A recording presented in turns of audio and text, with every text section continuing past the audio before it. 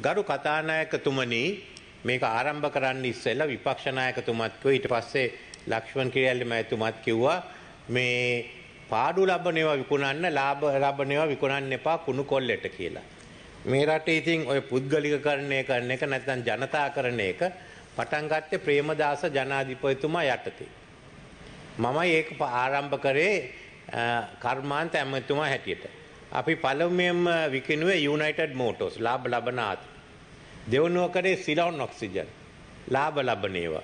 ලෙද corporation ලාභ ලබනෝ. ටය corporation ලාභ ලබනෝ. Lanka milk food ලාභ ලබනෝ. ලංකා ඩිස්ටෙල්රීස් ලාභ ලබනෝ. ඊළඟට අපි වැවිලි සමාගම් විකුණෝ සමහරව අලාභ ලබනෝ ඒවල අලාභ ලබනෝ. ප්‍රේමදාස ජනාධිපුව හැත්ත හතේ ජයාජාද මැතුමා ආර්ථිකය විවුත්ත කර. විවුත්ත කරම් ප්‍රේමදාස් ජනය අසූ නමේ ඊළඟ පියවර ගත්ත. ඒ පියවර තමයි මේ රටේ රටට තිබුණේ සමහර මේ රජයේ පාලනය ඉවත් කරන්න. රජයේ පාලනය ඉවත් කල්ලා ඒ වෙනුවට අපි ආරම්භ කරේ සම්මාරය අංශ පුද්ගලික අංශයට බාර දෙන්න. මේක අපි උදාහරණයක් කරගත්තේ චීනේ. ඩෙංක්ෂවපෙන් මැයිතුමා ආරම්භ කරපු වැඩසටාන. ඉති ඒක ඉදිරියට ගෙනනිච්චා දැඟුත් බලන්නේ එක් කරන්න තින් අපි බැඩුවේ ලාබ ලබ්බනේවා කරන්න. ඊයේ අපේ මහින්දරාජ පක් සිටපු ජනාධිපතිමා කිව්වා අලාබ ලබනයෝ විතරයි විකුණන්න ඕන කියල.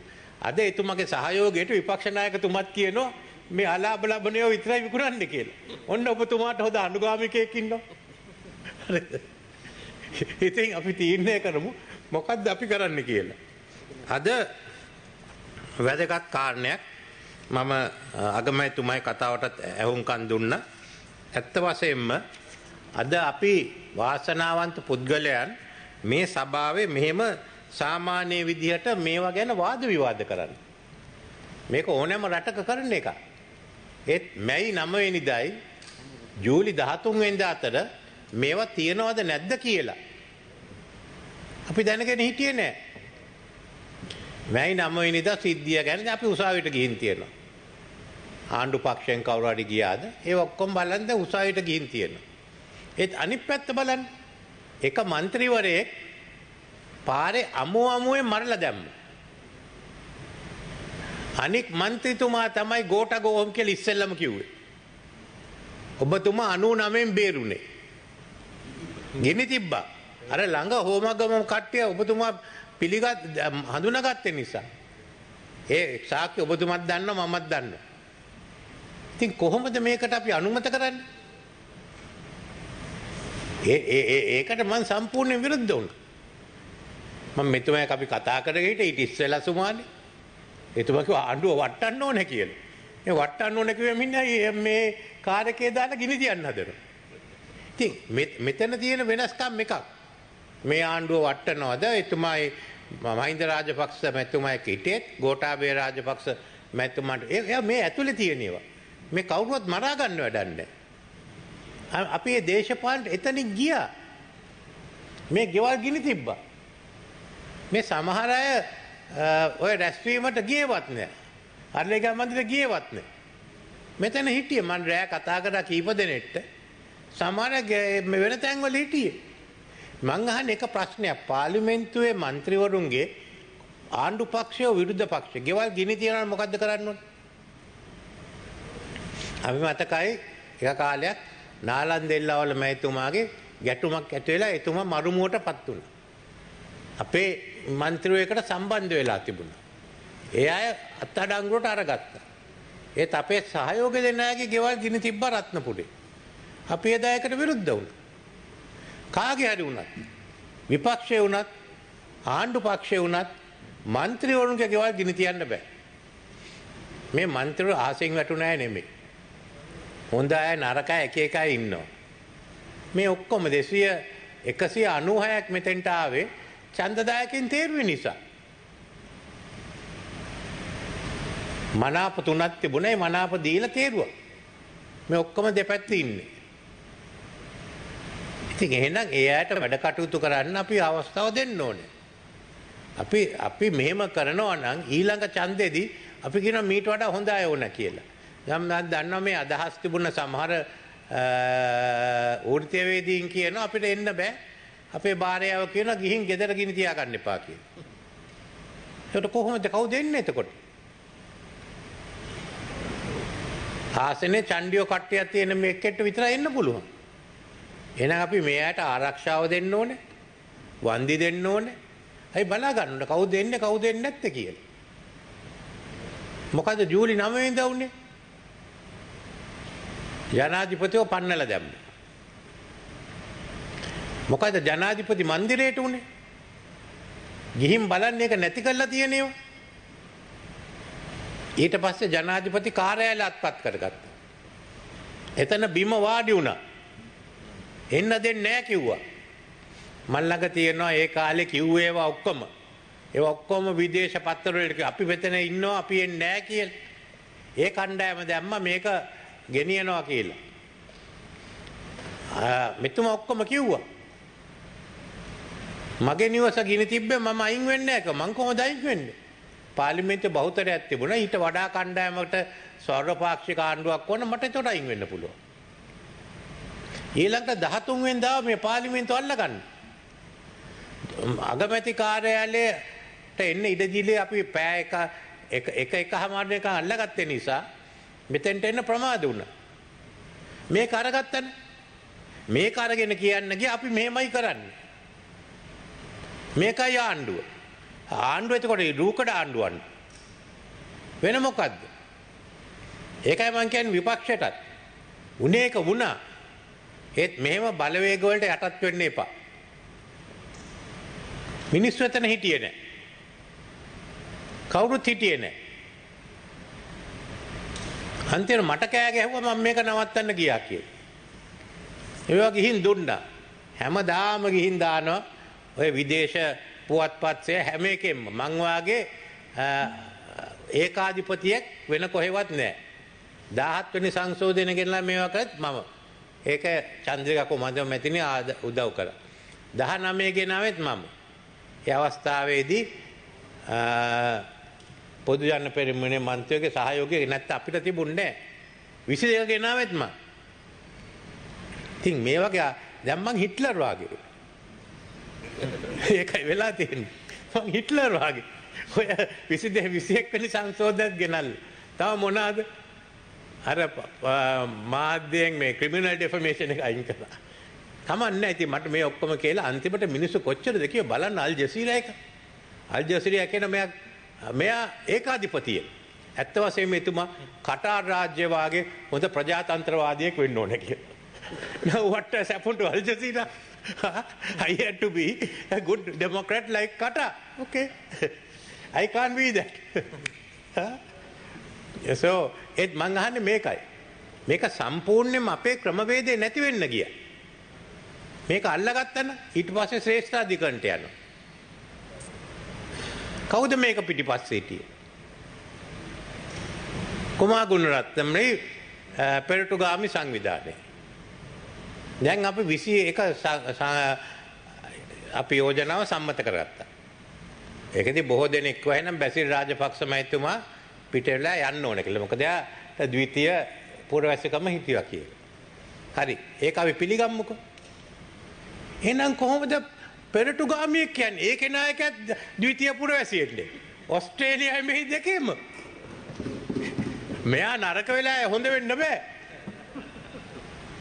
අපි කියනවා නම් බැසිල් රාජපක්ෂ මැතිතුමා ඔබතුමා එන්න එපා කියලා. එහෙනම් අපි දැන් බලය දෙන්නේ ඡන්දයෙන් පත් කරපු එකක්වත් ආවේ මිනිහෙක්වත් නෙමෙයි. අපි බලය දෙන්න ඉන්නේ ද්විතීය පුරවැසිකම තියෙන එක්කෙනෙක්ට. ඉතින් කිව්වා බැසිල් රාජපක්ෂ මැතිතුමාට විරුද්ධව චෝදනා තියෙන කියලා. මම අගමැතිව නැද්දි එතුමා ඇත්ත වශයෙන්ම උසාවියටත් ගෙනිහිල්ලා රිමාන්ඩ් එකෙත් හිටියා. මොකද්ද මෙයාට විරුද්ධව තියෙන්නේ? මගේ අපේ ජන ජනතා විමුක්ති පෙරමුණේ මන්තරු නැහැ. උතුරේ යුද්ධ කාලේ ඉන්දියන් සාම හමුදා මිනිස්සු මැරුවා කියලා. මේකයි අපේ විමුක්තිය. මොකද නවවෙනිදායි මැයි නමේ ජූලී හතර උනේ අපේ පන්සල් කීපයකට තර්ජනය කරද්ද ගිනි තියනවා කියලා. මල්වතු අස්ගිරි විහාරයට මොකද්ද කරේ? කතා කරන්න එපා කිව්වා. අපේ සංඝයා වහන්සේත් බය වෙලා වෙලේ කතා නොකර හිටියේ. ඇත්ත කතා කරනවා. එතකොට මේ ඇවිල්ලා කොහොමද ව්‍යවස්ථාවේ නවවෙනි වගන්තිය ආරක්ෂා කරන්නේ? බුද්ධ ආගම ආරක්ෂා කරන්න තියෙනවනේ.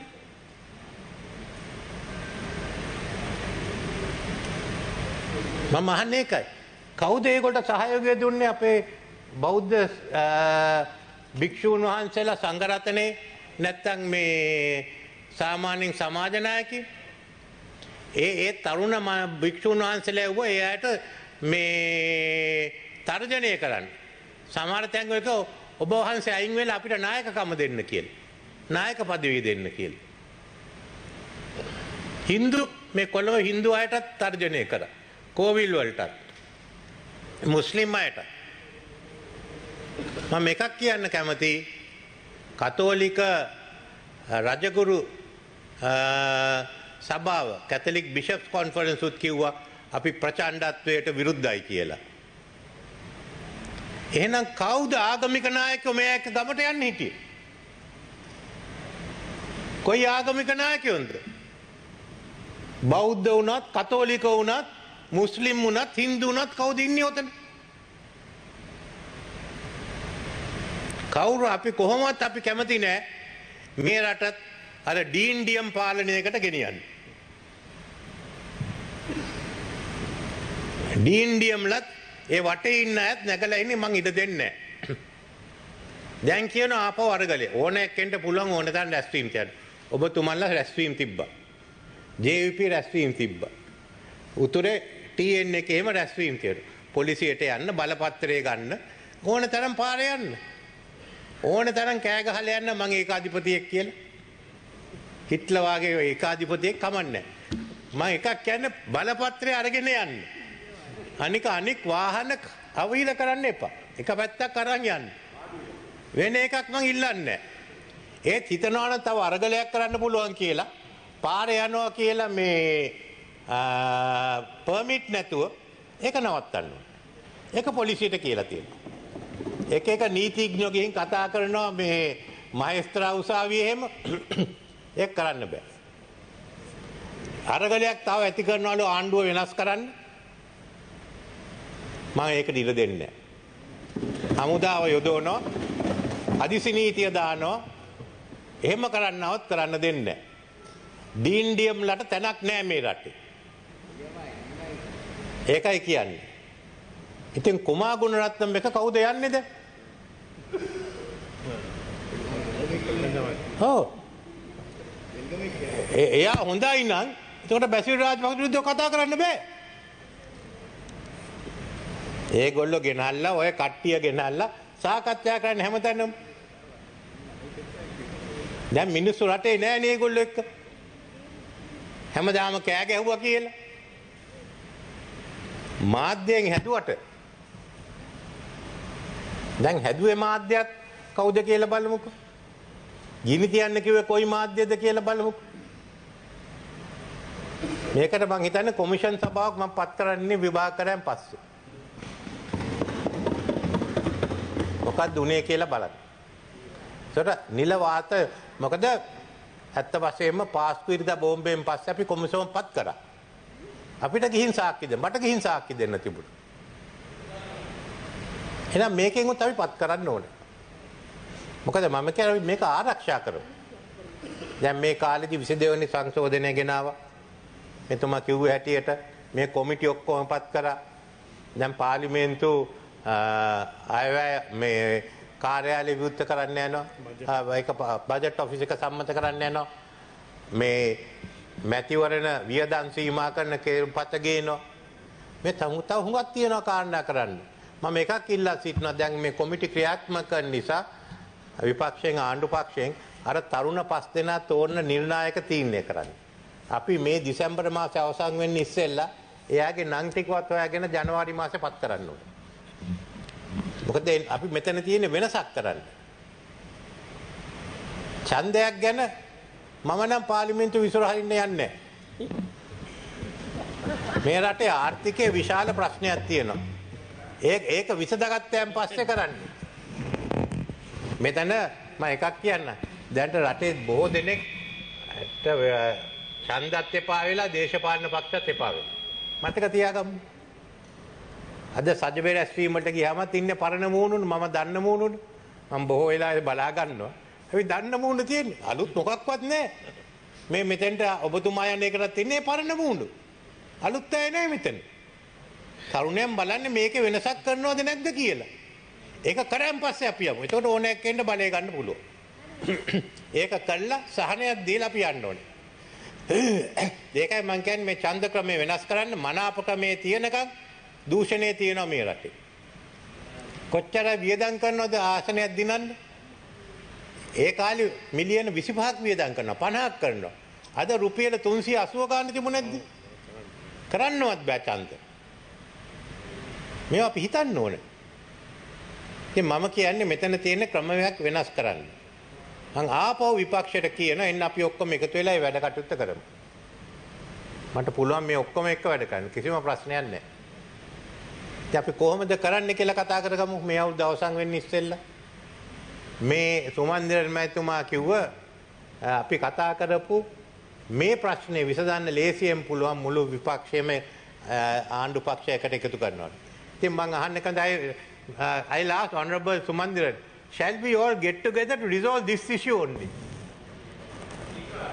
To resolve the issue, the ethnic issue, how we bring, how we are going to live as children of one mother. එතුමත් එකඟයි මමත් එකඟයි ඔබතුමාල එකඟද එකඟද නැද්ද මට කියන්න මෙතුමත් එකඟයි ඔබතුමා එකඟද මනෝ obviously so Lakshman will you all agree agree Come, we are all on one, right? We all think alike, no?